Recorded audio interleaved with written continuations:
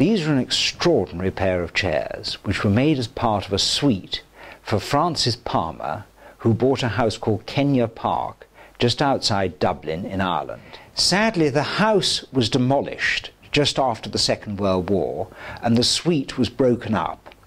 But we have the pleasure of owning two of these chairs right now.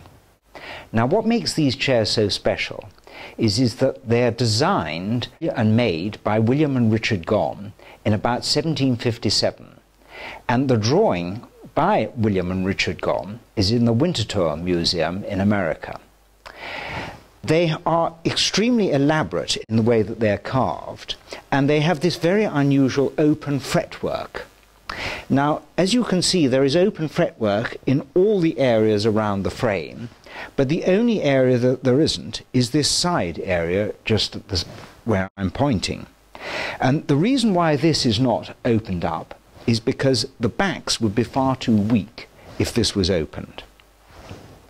These chairs have an amazing profile, and they would have been a complete revolution when they were made in about 1757. They're inspired by Chippendale's Director of 1754, and this would have been the first time that people would have seen Rococo furniture in its full glory.